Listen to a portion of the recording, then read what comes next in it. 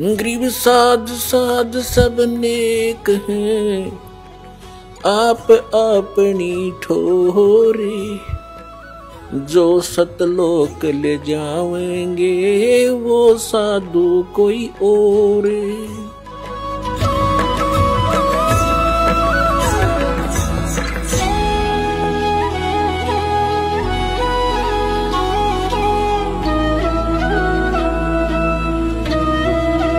तो जो प्रसंग चल रहा है, उस पे आना होगा।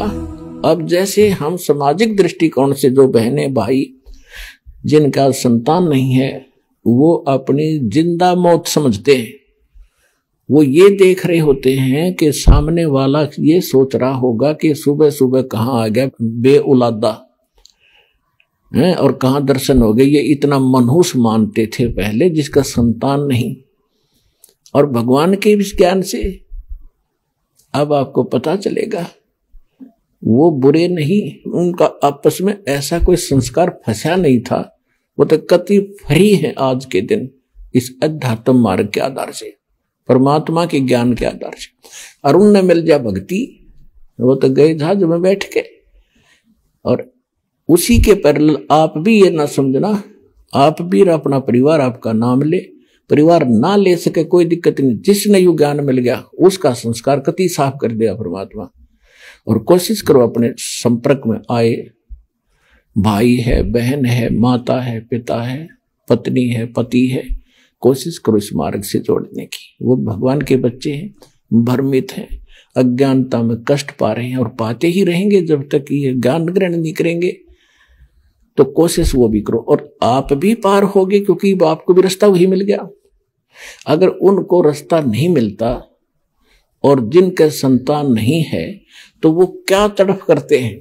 मनुष्य तो कुछ दिनों में संतोष कर लेता है, लेकिन बहन बेटी जिसके संतान नहीं है, उसको संतोष नहीं होता, क्योंकि समाज नहीं होने देता। और वो इसी कसक में मर जाती है कि मेरा संतान नहीं हुई। वो किसी बच्चे को गोद लेते हैं। कुछ दिनों के बाद ब्याह होता है। ब्याह होने के बाद पत्नी आती है। तो उसमें मन मुटाव हुए बिना रहे को नहीं ये तो अपने बच्चों और अपने पुत्र वधु उसके साथ भी हो जाता है घर में। तो फिर उसके मन में ये आता है, भगवान, अगर मेरी संतान होती तो आज ये मेरे सामने ऐसे बोलता। ये मेरे सामने क्या ऐसे बोलती? बुद्धि भ्रष्ट कर रखी काल ना मारी। हर जिनके पुत्र वधु अपने ही है उनको उनसे देख ले वो कितने सोलह माथा बोले आज के। तो कहने का भाव ये है कि फिर वो बहन मरते समय भी इसी कसक में मर जाती है कि हे भगवान, मेरा संतान ना हुई, हे परमात्मा, मेरा संतान ना हुई। और पूजा करें हम काल की।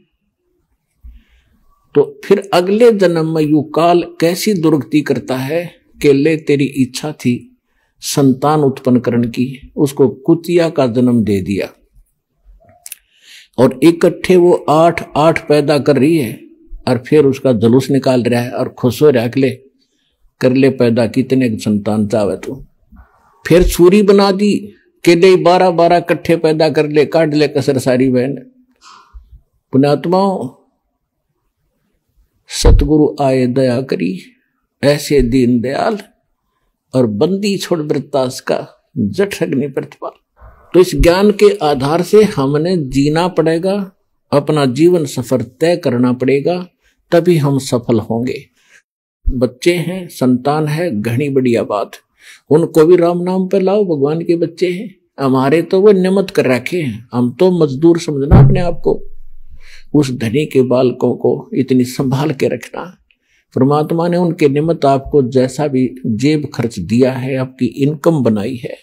वो इसलिए बनाई है कि इनको भी पालो पोसो, संभाल के रखो और इनको अच्छी शिक्षा दो, सत्संग में लाओ, इनके कर्म बनाओ। तो आपका दायित्व पूरा हो जाएगा, आपका फ़र्ज़ पूरा होगा